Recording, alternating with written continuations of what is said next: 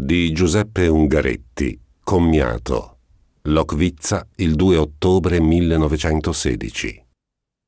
Gentile Ettore Serra, poesia è il mondo, l'umanità, la propria vita fioriti dalla parola, la limpida meraviglia di un delirante fermento. Quando trovo in questo mio silenzio una parola, scavata è nella mia vita come un abisso.